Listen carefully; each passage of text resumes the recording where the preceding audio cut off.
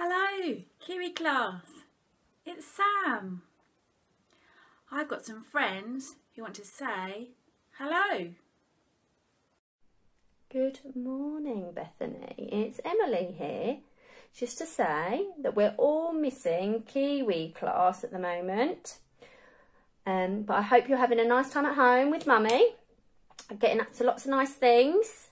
Uh, me and Sam have got some work for you to do at home and hopefully you'll find it lots of good fun. Hi, it's Jane. Good morning, Kelsey. I hope you are good and using your ears and listening to Mummy. Goodbye. See you soon. Good morning, it's Laura here. Hello Mason, I hope you have a really good day. Hi Sky, hope you're okay. Looking forward to seeing you soon. Hello Ryan, it's Holly. How are you? I hope you're doing okay.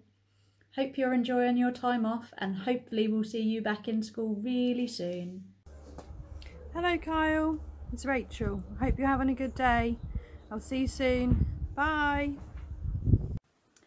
We've got lots of things planned for you this week, so have fun and don't forget to show us what you've been up to. Bye!